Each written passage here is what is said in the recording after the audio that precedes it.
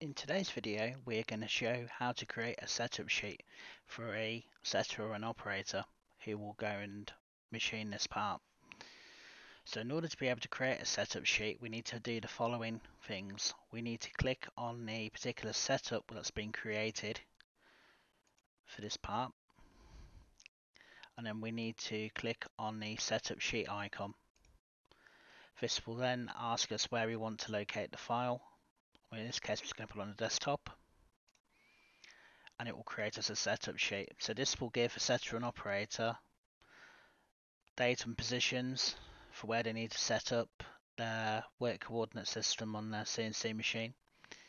It will also give a um, number of tools being used, how far the tool needs to stick out.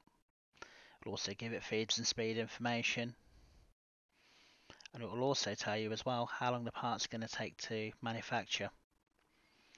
So it's quite a quick method to be able to provide a setter and operator with a lot of very useful information fast.